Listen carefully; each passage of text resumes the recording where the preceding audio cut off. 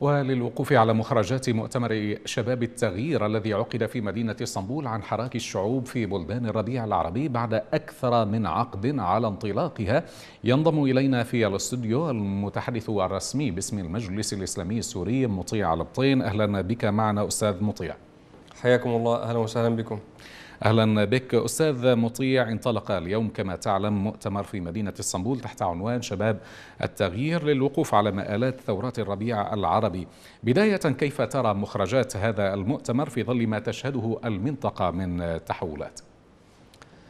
آه، بداية تحية لك ولأهلنا في العراق آه، الثائرين في كل بلدان آه، الربيع العربي.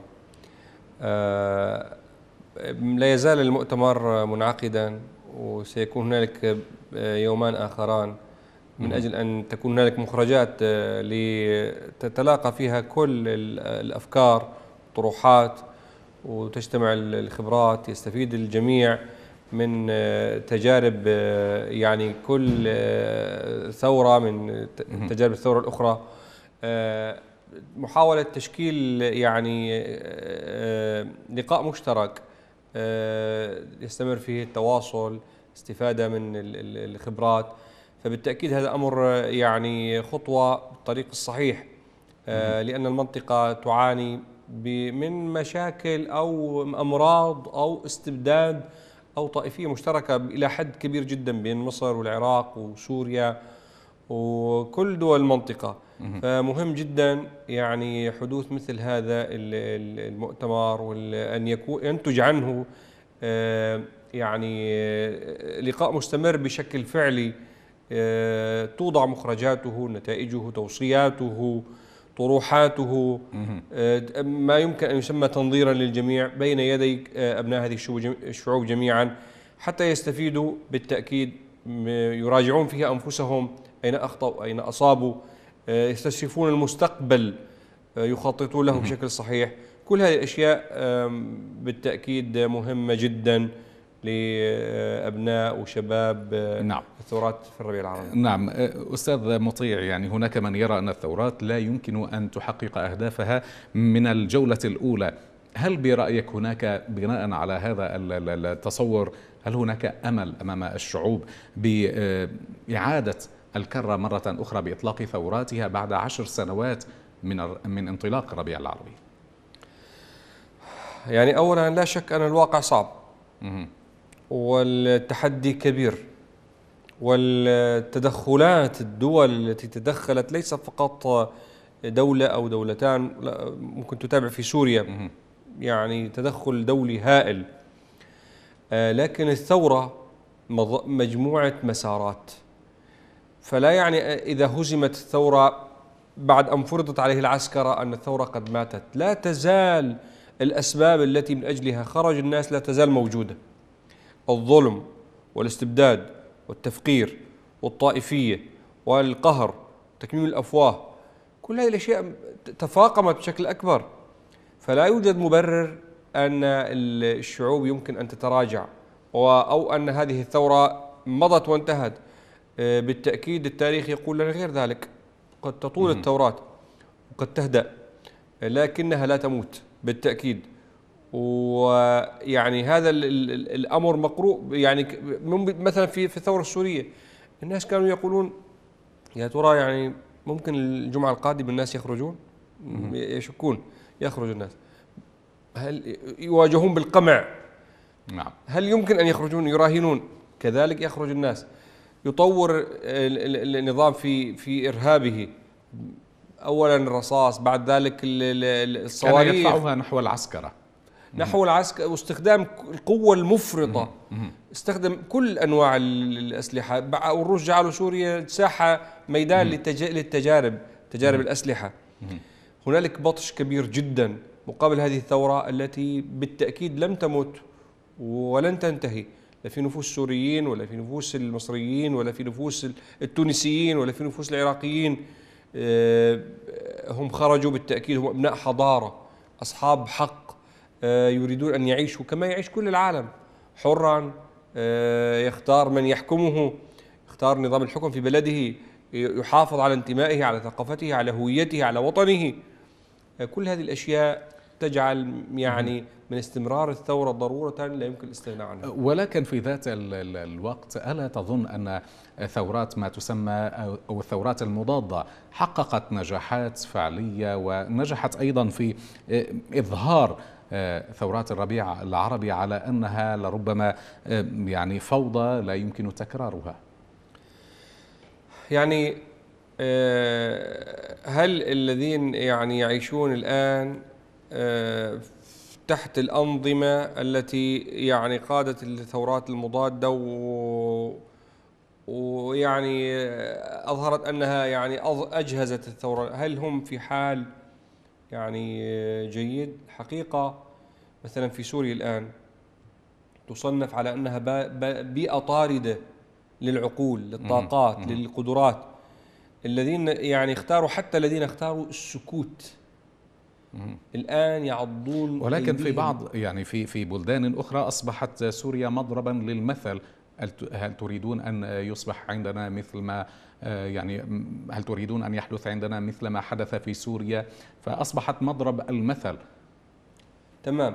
يعني هذا ال ال ينبغي أن يضرب المثل على النحو التالي بشكل صحيح. أن الناس الذين رأوا أنهم إذا خرجوا على هذا النظام سيكون هنالك شر وقتل. الآن ثبت أن الذين بقوا مع النظام هم الذين أصابهم الشر هم الذين أصابهم الإذلال. النظام يأكل أتباعه يأكل الساكتين يأكل أموالهم يسجنهم. آه، حالة من من الفوضى من الفقر من الابتزاز. آه، نهب الاعتقالات الاغتيالات. آه، التهجير. السرقات. الواقع الموجود الآن في سوريا مثلا مع المناطق التي يسيطر عليها النظام هو مضرب المثل. وأما أن يقال للذين يريدون أن يخرجوا على مثلا أو أن يتحركوا ضد الأنظمة المستبدة هل تريدون أن يحصل لكم كما حصل لسوريا؟ اذا الخيار الثاني بلسان حال هؤلاء أن يستكين الناس أن يكونوا قطيع أن يكونوا أنعام. والله عز وجل لم يخلق الناس ليكونوا كذلك. الإنسان الحر لا لا يقبل أن أن يعيش هذه الحياة. هذه الثورات يعني إلى أي مدى ترى أنها لربما زادت من وعي الشعوب العربية خاصة آه، في يعني سوريا، لبنان، العراق وهذه آه، المنطقة من خطر آه، التدخل الإيراني الذي لربما قبل ثورات الربيع العربي لربما كان مقبولا إلى حد ما ولكن بعد ثورات الربيع العربي كشف آه، نية إيران في السيطرة آه، الديموغرافية على هذه المناطق على الأقل. يعني مثلا ما دمنا نتحدث عن سوريا. فلو لم يكن من الثورة السورية إلا أنها عرت مشروع الولي الفقيه لكان هذا بالتأكيد نصر. الحالة التي أحدثتها من الوعي كثير حتى لا أقول من عامة الناس كثير من النخب كانوا مغرورين مخدوعين بإيران. وكانوا يرون في مثلا ميليشيا حزب الله خاصة في عدائه مع أو عدائه الظاهر دعنا نقول مع كانوا يرون فيه بطلا قوميا ورجل الآن ظهر بدون أي شك أن هذا الرجل طائفي وأنه تدخل ضد حرية الشعوب وأن قتاله كان في حلب وفي الزبداني وفي مضايا طريقا إلى القدس. لحصار هؤلاء الناس. فالمشروع الولي الفقيه أسقطته هذه الثورات عرضته إلى أبعد حد أظهرت أنه هو الأداة لخلق الفوضى في هذه المنطقة. بعد أن كان الناس يقولون أنه هذا سيحرر القدس وهو يرفع شعار القدس آه، وهو يريد وهو الذي يقف مع فلسطين وهو الذي وهو يرفع شعار التقريب بين المذاهب وهو الذي يتكلم عن الثورة تصدير الثورة الإسلامية وإذا به يصدر الإرهاب يعبر بارهابه الحدود آه، يصدر القتل والطائفيه ال ال ال ال ال ال الإرهاب الاغتصاب آه، تفتيت البلاد إدخالها في دوامة الطائفية.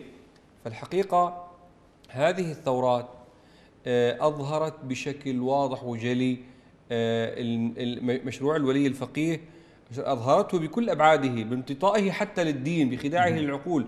يعني آه، يزاوج بين القومية وبين هو يعني التشيع السياسي لأغراضه من أجل إحياء الإمبراطورية الفارسية. هم يتكلمون علنا عن هذا الأمر. لربما نعم لربما يعني يتضح ذلك في المشهد العراقي أكثر خاصة يعني بالنسبة لحراك ثورة تشرين في العراق والذي تجاوز حقيقة تجاوز الطائفية وكشف أطماع إيران وميليشياتها في العراق. هل يمكن البناء على هذا الحراك حراك آه، ثورة تشرين في العراق من أجل التخلص لربما من المحتل الإيراني وأحزابه وميليشياته في المنطقة؟ في العراق كنموذج بالتأكيد مهم جدا تفويت مع العلم انه وقع كثير تفويت الصراع إدخال الناس في صراع طائفي. ادخلوا الناس في صراع هذا سني وهذا شيعي وهذا وقسمه أخرى كردي وعربي من أجل تفتيت البلاد. من آه، حقيقة البعد عن الوطنية أن يتركوا مكون عرضة لمحتل. يتركوه للإيراني. يكتشفون بعد عشرات السنين أنهم كانوا مخطئين. هذا إذا كان الانسان عنده إنصاف. فبالتالي أي حراك ضد هذا المحتل الذي يريد أن يصدر مشروعه هو يعتبر العراق جزء من من إمبراطوريته. هو يعتبر سوريا أصلا جزء من إمبراطوريته. فبالتالي آه، هذا الوعي حدوث هذا الوعي بالتأكيد ينبغي أن يشجع. الآن مقارنة مع سوريا لا ينبغي أن يكون الحراك والله يترك السنة في مواجهة آه، طائفة النظام ويتحول الأمر إلى طائفي.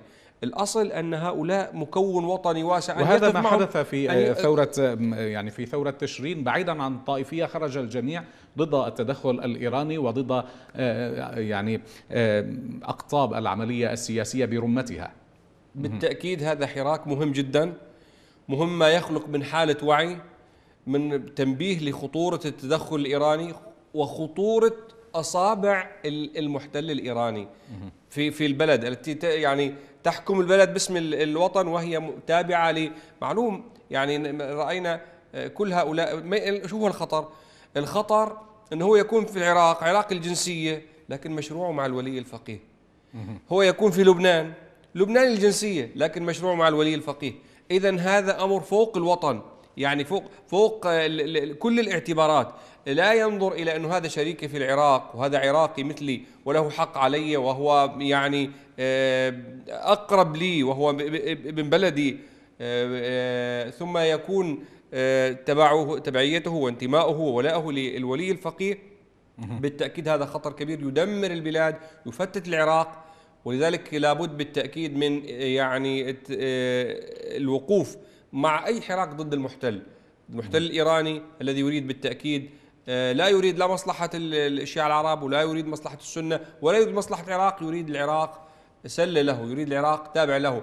حتى يكون مثل وضع الأحواز وضع بقية المكونات في, في إيران التي تعاني في داخل إيران شرور آه، مشروع الولي الفقيه آه، داخل إيران هذا هذا الخطر الذي صدره العراق والآن في سوريا وكل دول المنطقة. مهم جدا توعية الناس بهذا الأمر. مهم جدا الوقوف مع أي حراك ضد المحتل الإيراني.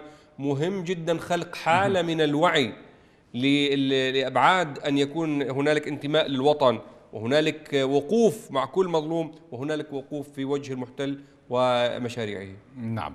إذا كنت ضيفنا هنا في الاستوديو المتحدث الرسمي باسم المجلس الإسلامي السوري مطيع البطين شكرا جزيلا لك. شكرا لكم.